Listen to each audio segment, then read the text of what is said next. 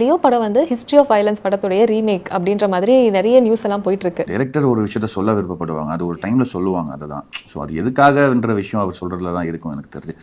இல்லை நியூஸஸ் வரதான் செய்யும். ஒன்றும் பண்ண முடியாது. லியோல பாக்குறப்ப கூஸ் பம்ஸ் மூமெண்ட் அந்த மாதிரி ஏதாவது இருந்ததா?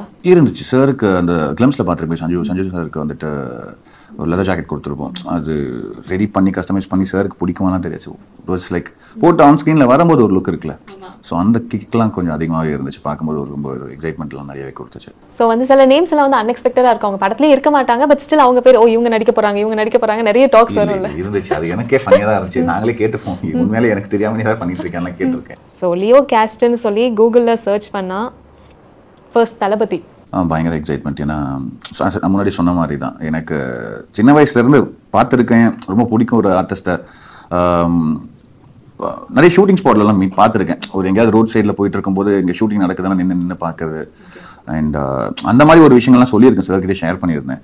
Uh, அதை தாண்டி இன்னும் ஒர்க் பண்ணும்போது தான் ஆல்ரெடி ஒர்க் பண்ணியிருந்த இடத்துலேயே சார் uh, என்னோட டிஷர்ட்ஸ்லாம் போட்டவொடனே எங்களுக்கு ரொம்ப எக்ஸைட்மெண்ட் எங்கள் எங்கள் ஆஃபீஸ்லேயே சார் நம்மளோட டிஷர்ட்ஸ்லாம் போடுறாங்க தட் வாஸ் எக்ஸைட்டட் லைக் அதை தாண்டி ஒரு நாள் மாஸ்டர் அப்போ சாரை மீட் பண்ணியிருந்தேன்.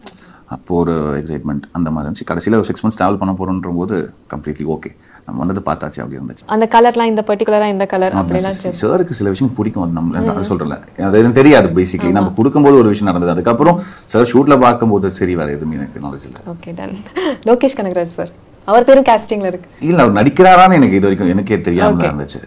சூர்யா அப்படின்னு சொல்லி ஒருத்தருடைய பேர் போட்டிருக்காங்க. நான் சாருக்கு இப்போ பர்சனலாக பண்ணிட்டு இருந்தேன் ஏன்னா சாருக்கு நேஷனல் அவார்டுக்கும் அதுக்கும் பண்ணியிருந்த அவுட்ஃபிட்ஸ்லாம் இப்போ சாருக்கு தான் பண்ணிட்டு இருக்கேன் ஸோ இதுல தெரியல. மிஷ்கின் சார் மிஷ்கின் சார் அவர் one- நிறைய டேரக்டர்ஸ் இருக்காங்க இதுல. ஜிவிஎம் சார் மிஷ்கின் சார்லாம் இருக்கும்போது அந்த ஒரு விஷயங்கள் இருக்கு. அண்ட் அவர் சொல்லியிருந்தாரு விஜய் சாருக்கும் அவருக்கும் நிறைய ஃபைட் சீன்ஸ் எல்லாம் முடிச்சதை பத்தி பேசியிருந்தாரு. ஸோ இப்போ மிஷ்கின் சாருக்குன்றப்ப எவ்வளவு பேக்கப் ஷர்ட்ஸ் எல்லாம் ரெடி பண்ணி இருந்துச்சு. அதான் ஒரு ஃபோர் டு ஃபைவ் ஷர்ட்ஸ் இருக்கும். ஸ்டண்ட்னும் போது அதெல்லாம் இருந்துச்சு. ஓகே விஜய் சாருக்கு எத்தனை பேக்கப் ரெடி பண்ணியிருப்பாங்க இந்த ஸ்டன்ஸ் இல்ல நிறையவே இருந்துச்சு. அதெல்லாம் நிறையவே வச்சிருந்தாங்க. கௌதம் மேனன் சார் அவர் ஷூட்டிங்லாம் பார்த்து தான் சினிமாக்குள்ளே வந்தது actually to be honest Vinay தடவை ஷூட் பண்ணும்போது நான் படம் ஒர்க் படித்து முடிச்சுட்டு கொஞ்சம் ஃப்ரீயாக இருக்கிற டைம்லலாம் ஷூட்டிங் போயிட்டுருக்கோம் அப்போ ஒரு வீட்டில் உட்காந்துட்டு என் ஃப்ரெண்டோட வீட்டில் தான் ஷூட் பண்ணிட்டு இருந்தேன். ஸோ அப்போ உட்காந்துட்டு ஷூட்டிங்கை பார்த்துட்டு இருக்கும்போது சார் கூப்பிட்டு பேசுவார். ஸோ அப்போது ஒரு இது இருந்துச்சு. அதான் இப்போ Manoj Paraman sir sir DOP சொல்லியிருந்தாரு. டூ தௌசண்ட் எயிட்டுக்கு அப்புறம் I meeting all of them இந்த படத்தில். த்ரிஷா மேம்லேருந்து ஜிஎம் சார்லேருந்து டிஓபி அந்த படத்தில் ஒர்க் பண்ணவர்.